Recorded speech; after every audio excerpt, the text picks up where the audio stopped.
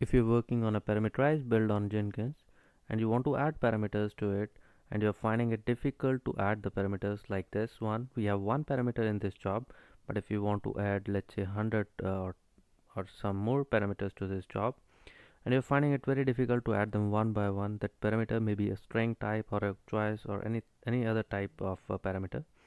What you need to do is you need to go to uh, the Jenkins folder in your uh, um, system and uh, you can open the configuration file of that uh, job.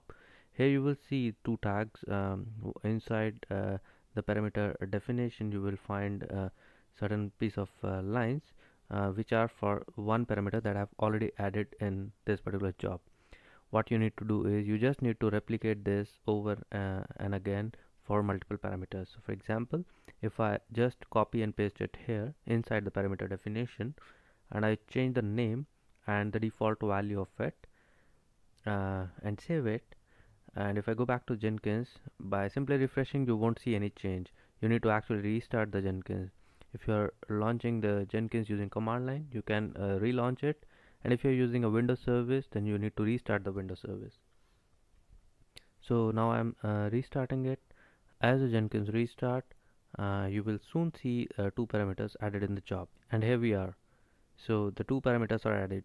So similarly if you want to add uh, multiple parameters either you need to copy and paste uh, over and again like this or you can write a simple macro in excel. So what you can do is you can create a sub procedure and here you can iterate for uh, let's say uh, the number of uh, records in the excel sheet. So i have two uh, columns a and b. A column holds the key and b column holds the default value so i'm iterating it from row number 2 till the last row which is having data. So sheet 1 uh, cells row count comma 1 which takes me to the last cell of uh, first column.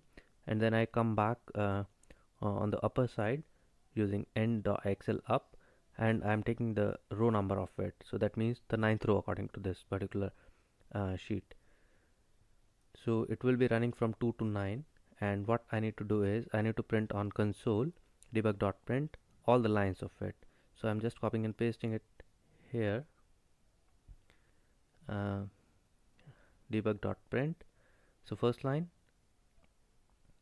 Similarly I can add the other lines.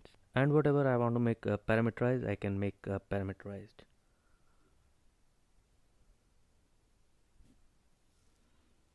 So you can see here uh, I've removed the uh, the name and I'm picking it from the cell and I'm picking it dynamically from uh, row number i and column 1 similarly I'll do this uh, for for the default value as well. Now once we do this we are ready. And uh, we can open the immediate window to see uh, the console. And then if we uh, run this piece of code uh,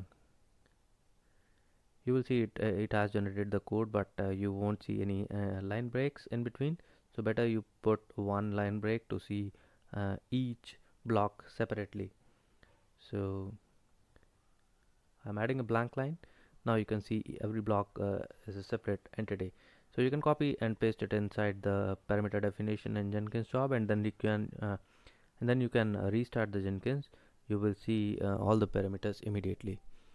So that's how we can add parameters to multiple builds. And if you have lots of parameters to add this will make it easy to add parameters for you so you can see we have restarted the Jenkins and you can see the parameters are added here. So if you want more such tips stay connected to Extreme Excel. Thank you for watching this video